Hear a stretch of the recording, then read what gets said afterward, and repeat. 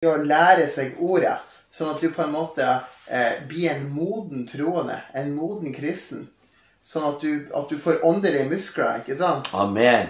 Amen. Vi har jo egentlig åndelig sixpack, eller hva, Levi? Ja. Det, vet du hva? Det, det her er, vi, meg og han, vi er to puddinggutter. Men, men eh, det som er rått, at vi er jo egentlig åndelige bodybuildere. Ja. Yes. Ånden vår er full av Ånden min ånden hans er kraftfulle.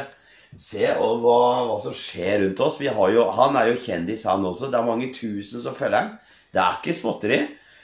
Så, og, og jeg er kjendis, jeg også. Og det handler om at vi har forstått oss på Guds ord og Guds kraft. Og så står vi i krigføring, går imot djevelen skikkelig hardt. Og så går vi ut, og så gjør vi det Gud sier vi skal gjøre. Så du er jo en tøffing. Du reiser da. Du tar, by, du tar fly, du tar eh, tog og reiser til en menighet, og du står og forkynner til mange hundre mennesker og går på gatene og, og ber for syke og, og sånt noe. Så det er jo veldig sterkt i det du står i, da. Amen. Takk Ja. for det. Det er det.